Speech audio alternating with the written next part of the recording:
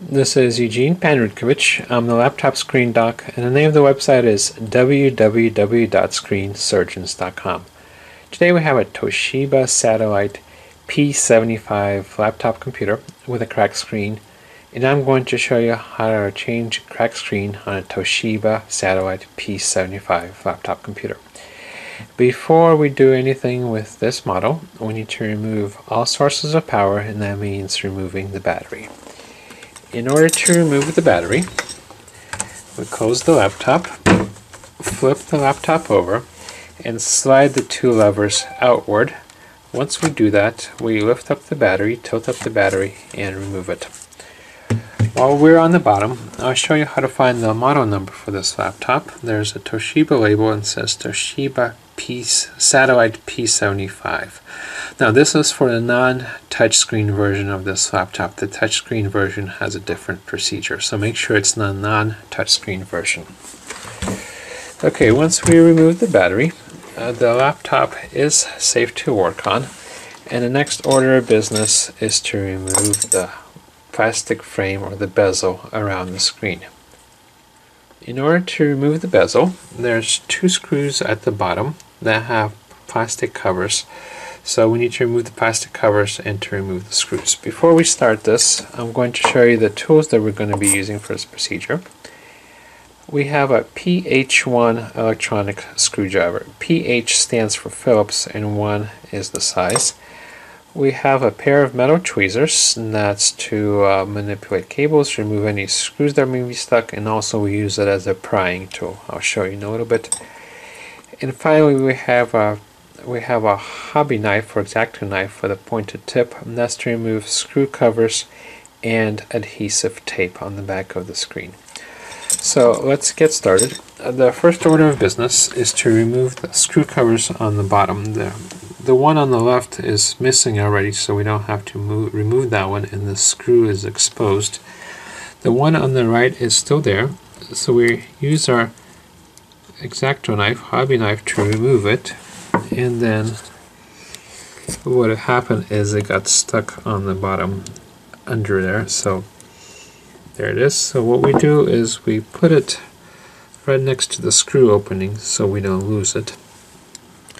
And the next step is to remove the screws hiding behind the screw covers. So we use our PH1 screwdriver and remove the two screws. There's one and two. Once we do that, we can snap the screen bezel off. The way I like to do that is put my fingertips or fingernails on the screen side and gently lift upward and outward and listen for snapping sounds. That means it's snapping off. So we work our way around the screen like so. If he gets stuck at any point, just keep moving and come back to that part later on to because it'll be easier to remove then. Okay, same thing on the bottom. You just pull upward and outward to remove the bezel. Now, there's a tricky part for the hinge covers. What we have to do is loosen up the seam on the back. So we lift up the laptop, put it on its side, and you see the seam. It's already loosened up a little bit. But we're to loosen up some more with a hobby knife, like so and like so here. The next step, this is a little bit tricky. So what we want to do is grab the tweezers and right at the top of this bottom assembly we wedge our tweezers in and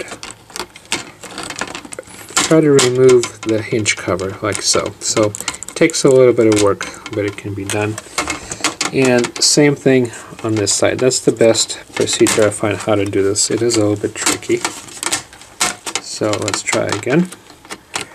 Wedge it in and it comes out like so. And then we remove the bezel. Once we remove the bezel, we look at the screen assembly. For this type of screen, it's mounted to metal mounting brackets on the sides of the screen and there's screws that go in the sides of the screen. We need to be able to access these screws so we need to tilt the screen with the metal mounting brackets forward a little bit from the back of the screen assembly. In order to do that, we need to remove the two screws that are holding the metal mounting brackets to the back of the screen assembly. So that's what we do next. And we'll tilt the screen back a little bit so things don't fall forward on us. There's one. And two. Now for each step of the procedure when we have screws involved, I like to keep them in separate piles in the order in which I remove them and that helps me keep track of which screws go where when putting the laptop back together. Okay, next we try to tilt the screen forward from the screen assembly and we see we can access the top screw but not quite the bottom screw yet down here. And also there may be a screw in the middle, it depends on your laptop. There may be a screw here, but it looks like we can access that one. So we have a trick for that. We need to loosen up the two screws at the bottom that are holding the metal mounting brackets to the bottom of the screen assembly. Maybe half a turn, maybe one turn, not too much, just so enough we can access the screws at the bottom. There's one. And when you're putting the laptop back together, make sure not to forget to tighten them so as not to damage the hinges. Okay, once we do that, we can relatively easily access the bottom screw. I'm screwing it back in because it was screwed out a little bit, so I'm putting it back in. So once once we can access the screws, we tilt the screen assembly back a little bit so the screen doesn't fall, fall forward on us and start with the bottom screw. Like so and if it gets stuck here you can use the tweezers to help you to remove them and once again start a new pile for the screws. Same on this side remove the bottom screw. Like so and then start with the top screws Make sure, making sure to hold the screen and the metal mounting bracket while you do that once you remove the screw, you saw that the screen fell back on us a little bit. That's okay, that's why we have the screen assembly tilted backward. And repeat the same step on the other side again, like so. Alright, once we do that, we gently tilt we gently tilt the screen forward and right away we see that there's a cable getting stuck on the back of the screen. So we grab the cable, has some white adhesive on it, remove the cable, and gently tilt the screen backwards, like so. And then there's some adhesive for this video video camera cable. We remove that gently, so to have better access. And then put the screen down. Now looking at the back of the screen you can tell that it has been replaced before because this plastic sheet is crumpled. It should not be crumpled. But that's not going to stop us from explaining the procedure. So we loosen up the cable. In order to remove the screen from the screen assembly, what we need to do is remove the adhesive from the back of the connector cable gently, like so, so that the, the back of the connector cable is free. And there's also some adhesive tape on the top. So we can either use our fingernails to lift it up, or we can use the X-Acto knife to help us free it along. But it looks like we can use our fingertips pretty easily,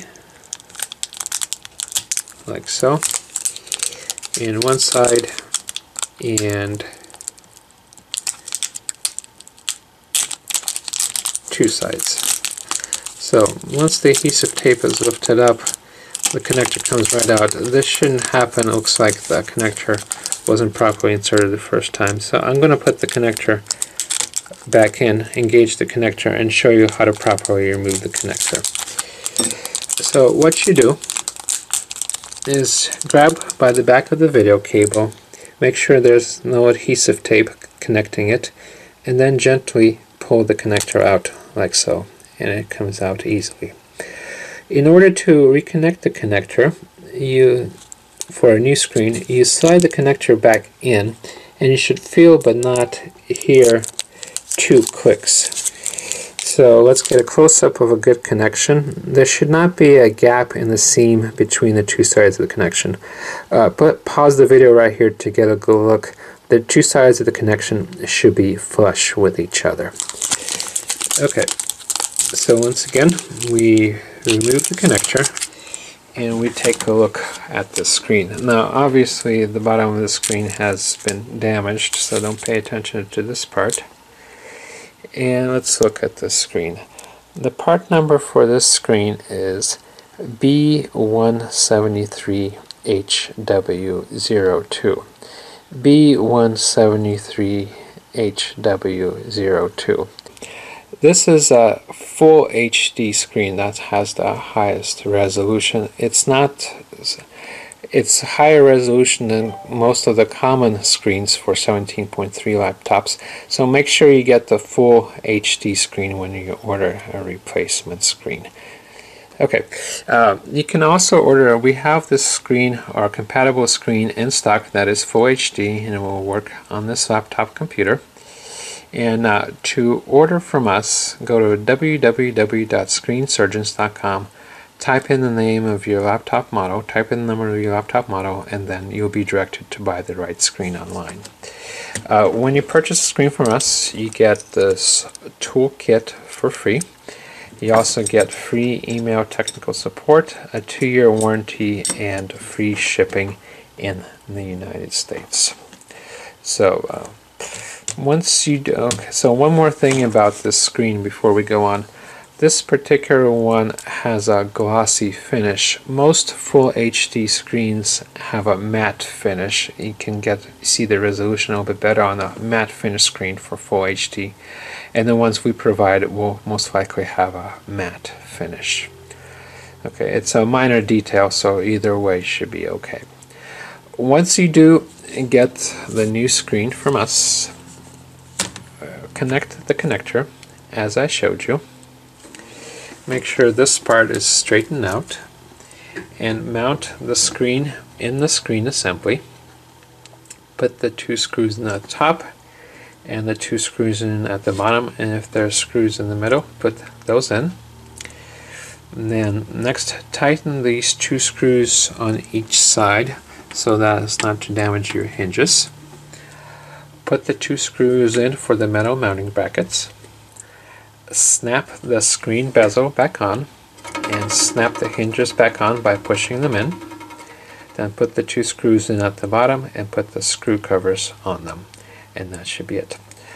Okay, uh, that's it. Once again, my name is Eugene Panrutkovich. I'm the laptop screen doc, and the name of the website is www.screensurgeons.com. Thank you very much, and good luck.